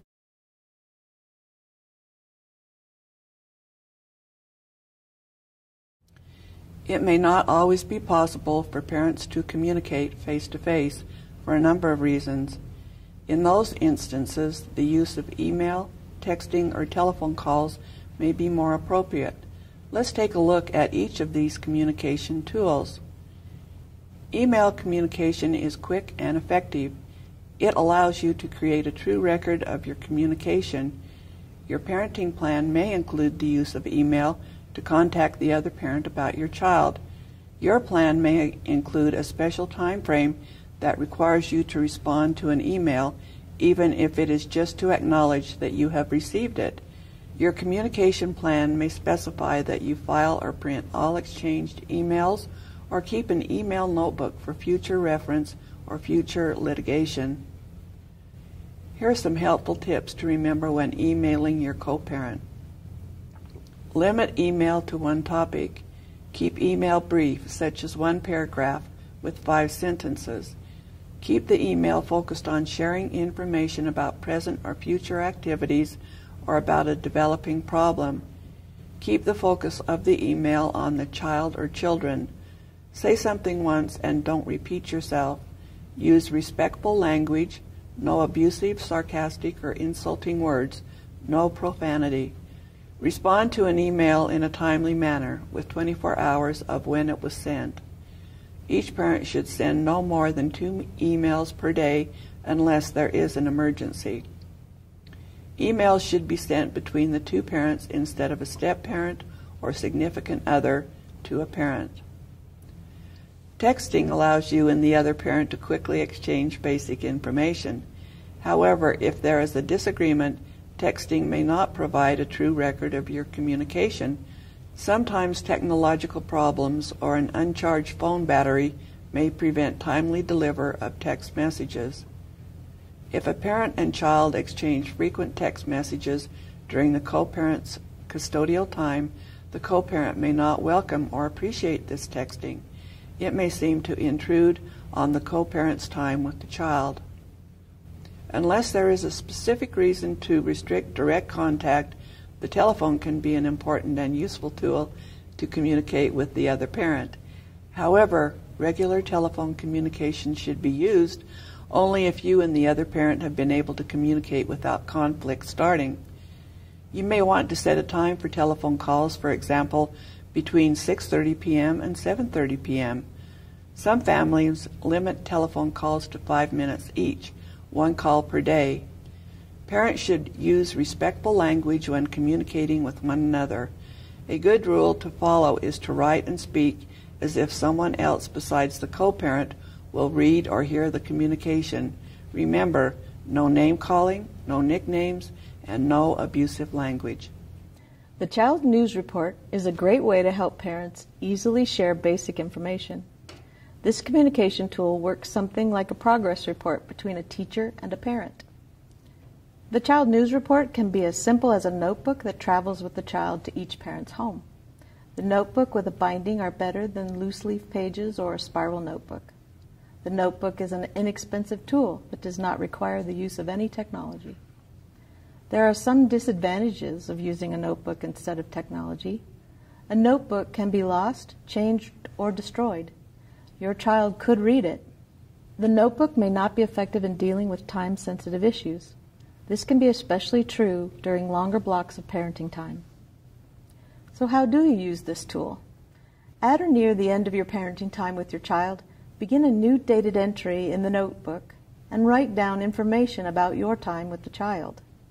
The information you write in your child's news report will depend on the child's age include details about medical care, serious injuries or illnesses, diet, education, school events or major social events, and upcoming appointments. You should also include any issues that may come up for your child while they were in your care that need to have further discussion. After the child's exchange, the other parent should read and initial the news entry in the notebook. Then, at the end of their parenting time, this parent will write down an entry and send the notebook along with the child.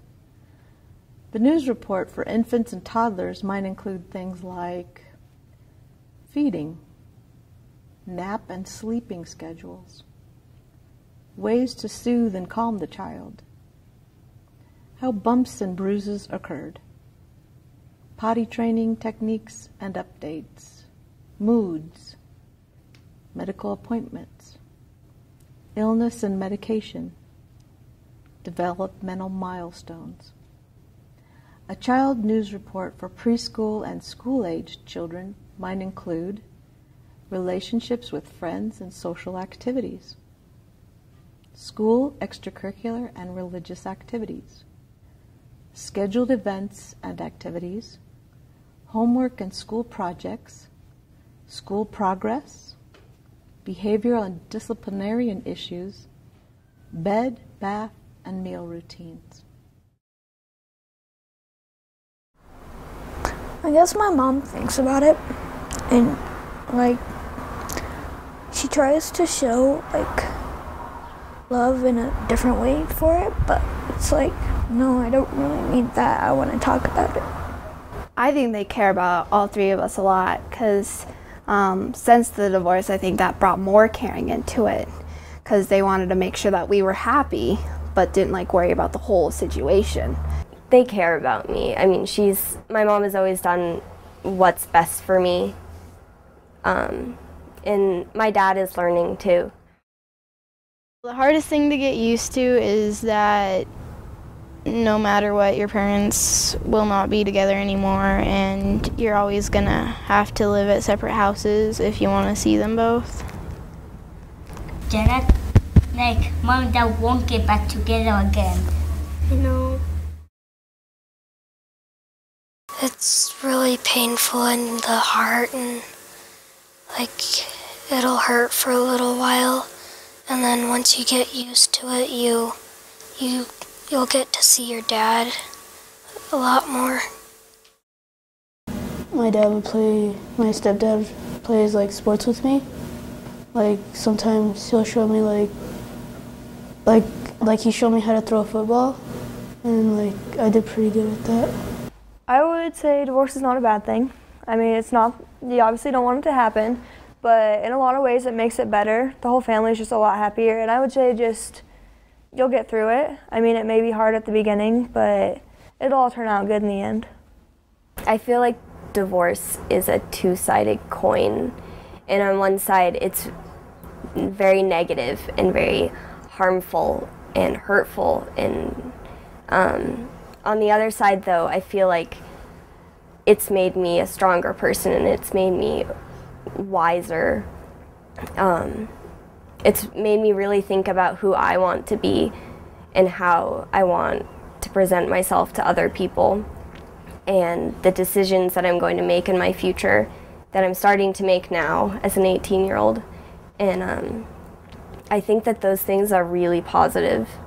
If you, if you can get the right help and go in the right direction, it's definitely a positive thing. Given that this can be an emotional time for families, it is sometimes easy to forget that parents and children have rights in this process. Unless ordered differently by the court, parents have the following rights. You have the right to be a part of your child's life.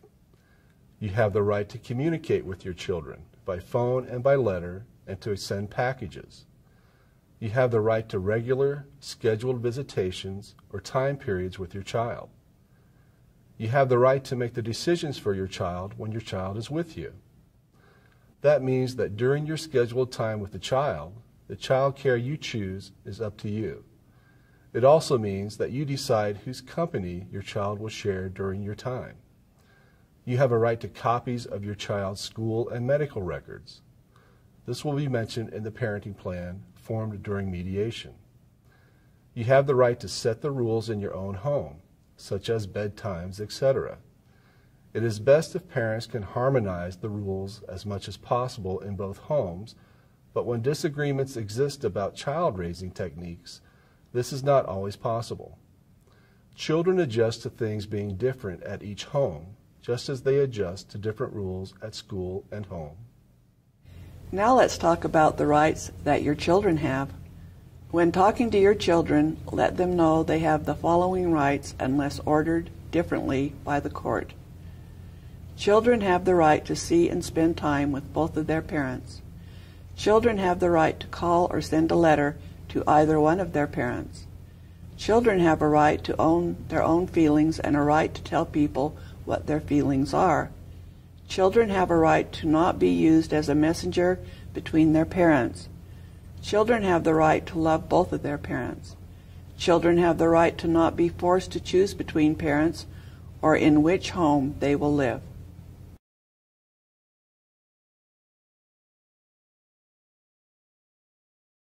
Even after your final decree has been signed, you may find that you're still struggling with the effects of the dissolution or separation. There are a number of resources available online and through your local law library. Consider getting some counseling from a licensed counselor or therapist. Seek support through your church or community groups. Remember, these feelings won't last forever and that you are growing every day. If you find that you're having trouble with your parenting plan in the future or things have changed to the point that revisions need to be made, you can always come back to mediation even after your decree has been signed. Thank you for taking this opportunity to learn more about how the dissolution process works in Arizona. Most importantly, thank you for taking the time to consider ways in which you can help your children through this process.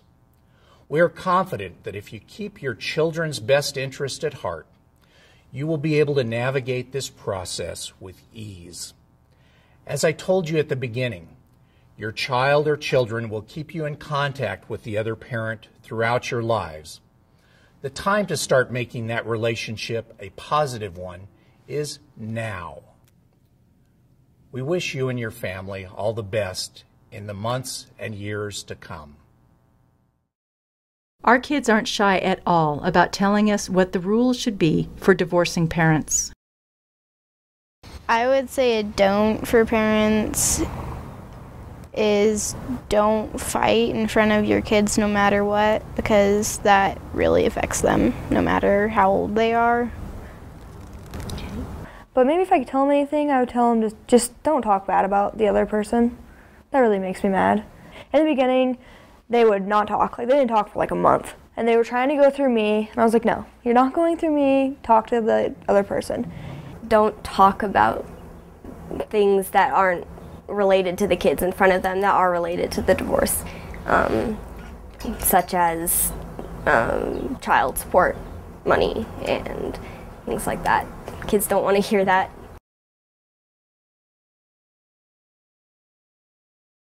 Make sure the kid knows that it's not their fault. It's a big one. To be open with their kids and like explain everything to them. I think that something on the do list would definitely be that you should try to be a part of your kid's life even though you're separated. Always reassure your kid that you're there for them no matter how they, you know, the parents feel about the situation. The kids should come first, always.